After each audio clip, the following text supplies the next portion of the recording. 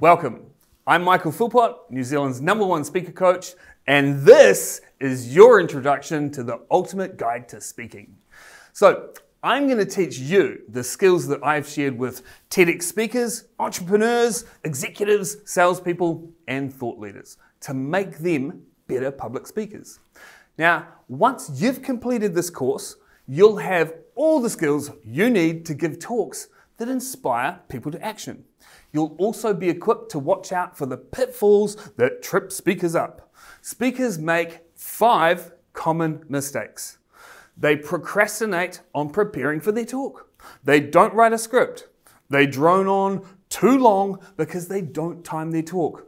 They use shitty slide decks. You know the kind a million bullet points, wall to wall text, and some terrifyingly complex infographics.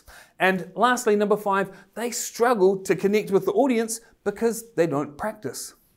This course will teach you to flip the script on those five roadblocks. So instead of procrastinating, you'll learn how to prepare with confidence. Instead of winging it like an amateur, you'll gain clarity on how to write a great script. And instead of rambling, you'll learn the art of delivering your message concisely.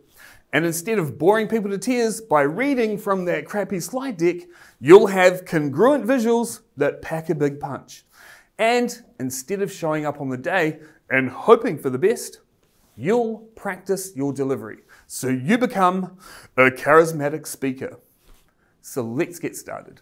Our first module's all about laying the foundations for confident presenting.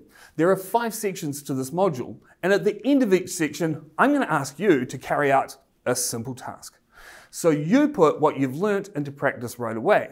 Now, do yourself a favor and do the task before you move on to the next module. Remember, every big achievement is just a series of small wins, and public speaking is no different. Let's get started.